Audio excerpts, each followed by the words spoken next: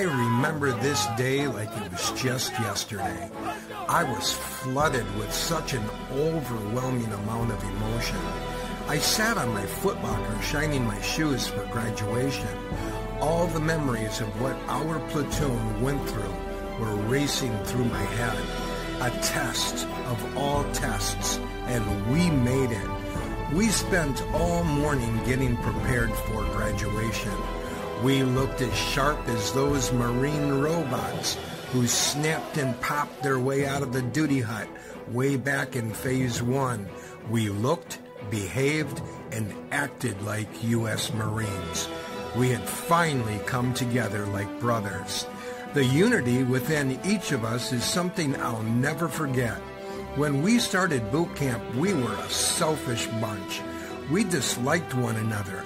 There were so many times we wanted to throw down outside with one another.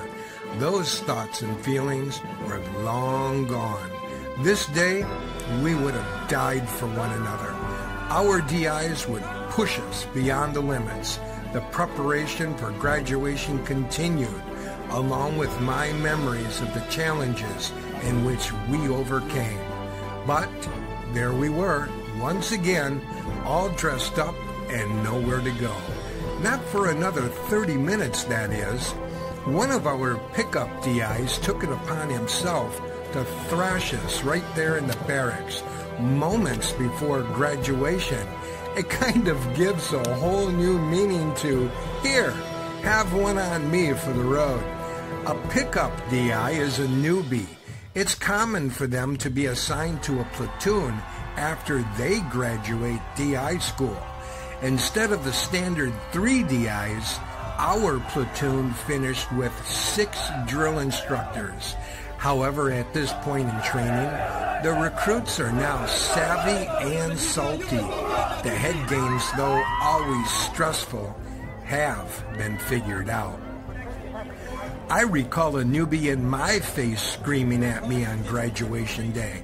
I just stood there like a robot, emotionless, staring straight ahead. What was I thinking? I was thinking he might want to spend a little more time brushing his teeth and gargling. He had no emotional impact over me whatsoever. I was laughing inside. Now, it's no disrespect to the DI. It's just that by this stage of the game, you've got it figured out. You're molded into mental toughness. That's just the way it is. I often look back on those days. I wish my family and Dan were able to come witness something some of them never thought I could ever accomplish. I didn't blame them either. I was 27 years old, overweight, and out of shape. I had a temper a mile long, and you couldn't tell me anything. I couldn't go to Dan's graduation because I was already starting my own training cycle, and Dan was attending to his own responsibilities as well. My family couldn't make the long trip because they had work and family matters to deal with. If it wasn't for Dan, I would have never enlisted. In many ways, boot camp saved my emotional life. The hate and anger I had carried around in me was destroyed by the fear and the angst in which the Corps bombarded me with. It was a missile that destroyed who I once was, and they molded and shaped me only into a U.S. Marine and hopefully a better man. You don't graduate Marine Corps boot camp by accident. Nobody can ever say anyone who made it through Marine boot camp made it by a means of a fluke. You can bet your butt the Marine Corps won't let that happen. Hours later, I was marching to the sounds of the Marine Corps hymn. I was overcome with such a pride, a sense of humbleness and respect because I was marching on the same parade deck as many Marines who fought in the Battle of Belleau Wood, to which enemy soldiers called the U.S. Marines Teufelhunden, which means devil dogs, a nickname in which Marines share pride in to this very day. I thought about the Marines who fought in the Battle of Guadalcanal. the Battle of Tarawa, Iwo Jima, and the Chosin Reservoir, just to name a few. My thoughts were not of me that memorable day. They were locked on history and present day. I was focused on how proud I was of my platoon, 3011, and my drill instructors. I was so loyal and ready to give my life for any of them if called upon. They say the Corps trains killers to fight to die. We fight to stay alive. We fight to keep each other alive. We fight to preserve peace for the homeland and to fight for those that aren't strong enough to fight for themselves. Our enemy fights for the right to die.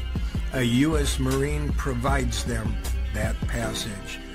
We fight for a way of life, the right to live, the right to exist, the right to live in peace and willing to make the greatest sacrifice in order to uphold that quality of life, I find it ironic how I laid in my wreck the night of training day one and silently wept and questioned my decisions of being there.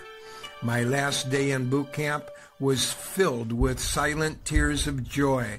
I was crying on the inside, but this time for different reasons. I was so damn proud of myself. It was overwhelming. I spent all of boot camp watching those planes fly in and out all day and well into the night, wishing I was on one of them. My joy had nothing to do with the planes on graduation day. It had everything to do with facing every fear I ever had, being ridiculed and broken down physically, mentally, and emotionally, yet finding a way to overcome and proudly earn the title United States Marine. There is no group so enthusiastic about our history than Marines. We are proud of where we come from, our culture, and our history. No Marine will ever forget the names of his or her drill instructors. My last moments on MCRD San Diego found me with my sea bag draped over my shoulder.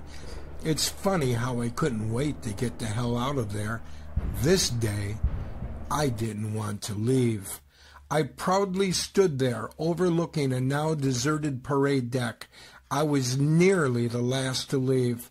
I was alone in my thoughts, but I wasn't alone in spirit. As I looked out across the infamous parade deck, I could hear the Marine cadence and all of the boots of every Marine that marched before me. I dropped my sea bag and came to an attention and provided a salute I didn't want to end. They say there is no worse enemy or no better friend than a United States Marine, and that's true, just ask our enemies. I had completed my training, and now it would become time to go overseas to Japan, South Korea, and the Philippines, but not before a brief visit home to visit my family and my friends back in Wisconsin. You must work hard to strengthen your body, your spirit, and your mind. Be proud of yourself and the uniform you wear. Above all else, never quit or give up. We offer you the challenge of recruit training and the opportunity to earn the title, United States Marine.